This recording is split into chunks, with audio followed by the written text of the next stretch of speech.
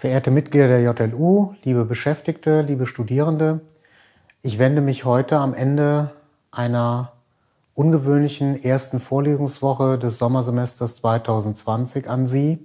Eine ungewöhnliche erste Vorlesungswoche in einem ungewöhnlichen Semester, in einem ungewöhnlichen gesellschaftlichen Allgemeinzustand.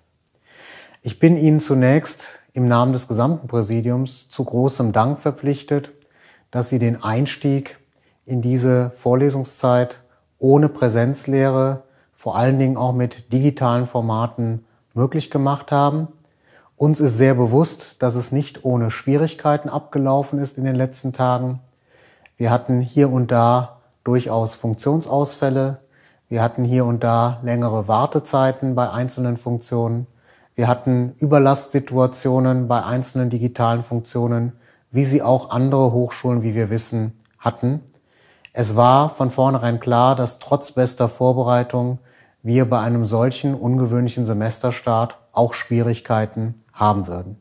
Bitte vertrauen Sie darauf, dass das Hochschulrechenzentrum, die Fachbereiche, wir in der Verwaltung alles dafür tun werden, damit die Rahmenbedingungen in den nächsten Wochen sich Stück für Stück noch weiter verbessern für diese Phase, in der wir weitgehend ohne Präsenzlehre und vor allen Dingen mit digitalen Formaten arbeiten müssen. Meine herzliche Bitte ist, dass wir im weiteren Verlauf der Vorlesungszeit trotz manchen Ärgers, trotz manchen Frusts bei den Beschäftigten, den Lehrenden und auch den Studierenden weiter rücksichtsvoll mit dieser schwierigen Situation umgehen wir haben, und das ist uns sehr bewusst, natürlich berechtigten Grund für Sorgen, für Ängste, für Ärger. Die Beschäftigten, deren Lebenspartnerinnen und Lebenspartner vielleicht Schwierigkeiten in ihrem Arbeitsumfeld haben, vielleicht auf Kurzarbeit sind, vielleicht auch sogar vor existenziellen wirtschaftlichen Sorgen stehen. Wir haben die vielen Beschäftigten, die nach wie vor und auch weiterhin Kinderbetreuungsherausforderungen haben. Wir haben auf der anderen Seite bei den Studierenden natürlich viele, viele Einzelschicksale, bei denen die Nebeneinkünfte, das Standbein für die Finanzierung des Studiums weggefallen ist. Wir haben auch die berechtigte Sorge, ob diese ungewöhnliche Zeit nicht zu Nachteilen auch in der Bildungsbiografie der Studierenden führt. All das ist uns sehr bewusst und deswegen meine ganz herzliche Bitte, lassen Sie uns auch weiterhin über den Tag hinaus rücksichtsvoll miteinander umgehen die Lehrenden mit den Studierenden, die Studierende mit ihrer Universität. Wir haben eine weiterhin schwierige und herausfordernde Phase in den nächsten Wochen und Monaten vor uns. Uns wäre es am liebsten, wenn wir Ihnen hier und heute schon genau sagen könnten, wie die Vorlesungszeit, wie dieses Semester, wie die nächsten Monate sich genau gestalten werden. Sie wissen, das Pandemiegeschehen ist sehr dynamisch. Wir stehen mittendrin in dem Infektionsgeschehen und wir werden auch an der Universität, genauso wie die gesamte Gesellschaft, genauso wie die Politik, auf Sicht fahren müssen.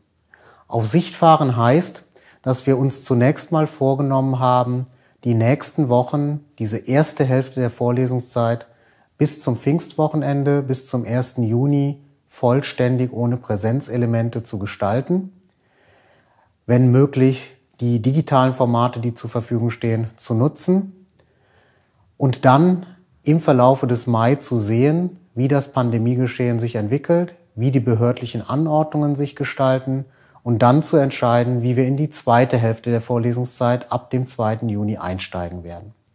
Ich bitte um Verständnis, dass wir angesichts der Unsicherheiten, die vor uns liegen, auf Sicht fahren, Sie aber wirklich auch immer sehr eng getaktet darüber informieren, wie die jeweils nachfolgenden Wochen und Monate gestaltet werden. In meiner letzten Videobotschaft an Sie hatte ich darüber berichtet, dass wir uns gemeinsam mit den anderen Hochschulen, gemeinsam mit den Wissenschaftsorganisationen, gemeinsam auch mit den politischen Entscheidungsträgern dafür einsetzen, dass es Möglichkeiten gibt, die besonders großen Härten für Beschäftigte und Studierende abzufedern.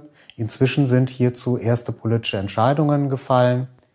Für die Mitarbeiterinnen und Mitarbeiter, die sich wissenschaftlich weiterqualifizieren auf befristeten Beschäftigungsverhältnissen, ist die Möglichkeit eröffnet worden, in begründeten Einzelfällen die Höchstdauer von sechs Jahren um sechs Monate zu verlängern, wenn aufgrund der Corona-Pandemie die eigenen Forschungsprojekte verzögert worden sind.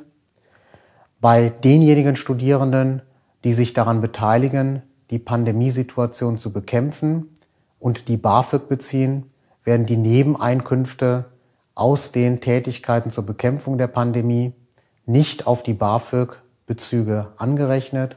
Aber natürlich haben wir hier weitergehende Vorstellungen.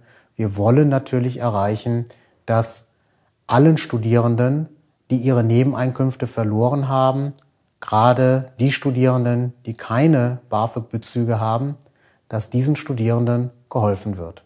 Verehrte JLU-Mitglieder, es geht nicht nur darum, dass wir die Vorlesungszeit unter ungewöhnlichen Bedingungen bestmöglich in diesem Semester gestalten, sondern wir alle haben als Bürgerinnen und Bürger auch den Auftrag, unseren Beitrag dazu zu leisten, dass wir hier in der Universitätsstadt Gießen, hier in unserer Gesellschaft vor Ort bestmöglich durch die Krise kommen. Und deswegen bin ich Ihnen allen sehr dankbar dafür, Beschäftigten wie Studierenden, dass Sie an allen Stellen Ihren Beitrag dazu leisten, dass wir diese krisenhafte Situation als Bürgergesellschaft bestmöglich gestalten. Ich denke zum Beispiel an die Forschergruppen in der Infektionsforschung, in der Lungenforschung, in der Virologie, die an vorderster Forschungsfront im Moment dabei sind und viel beachtete Studien durchführen. Ich denke zum Beispiel an die Studierenden in der Humanmedizin, die im Universitätsklinikum Gießen und Marburg bei uns aushelfen. Ich denke an die Veterinärmediziner, die ihre Kapazitäten und Ressourcen zur Verfügung stellen. Ich denke an unsere Chemikerinnen und Chemiker, die im großen Maßstab Desinfektionsmittel für das Universitätsklinikum herstellen. Ich denke an die Psychologen, die ihre Beratungskapazitäten ausgebaut haben, denn viele Familien unter den Bedingungen der Kontaktsperre haben Schwierigkeiten, haben besondere Herausforderungen benötigen Beratung. Und ich denke auch zum Beispiel an das kulturwissenschaftliche Projekt Corona-Archiv, denn es geht heute natürlich auch darum, die Grundlagen dafür zu legen, dass wir uns irgendwann in Zukunft bestmöglich zurückerinnern, zurückerinnern können an diese Zeit, die wir jetzt gerade durchleben. Irgendwann in einigen Jahren werden wir auf das Jahr 2020 werden wir vielleicht auf die Jahre 2020, 2021 als die Corona-Jahre zurückblicken. Und es ist die beste Tradition der Gießener Erinnerungskulturforschung, jetzt schon die Grundlagen dafür zu legen, dass wir uns später gut erinnern können. Deswegen kann ich Sie alle nur dazu aufrufen, bei diesem Projekt mitzumachen und von Ihrem Alltag in der Krise bei diesem Projekt zu berichten. Sehr verehrte Damen und Herren, ich wünsche Ihnen weiterhin einen guten Verlauf der Vorlesungszeit hier im Sommersemester 2020. Ich hoffe, dass Sie gesund bleiben und dass wir weiterhin hier in dieser Krise zusammenstehen. Vielen Dank.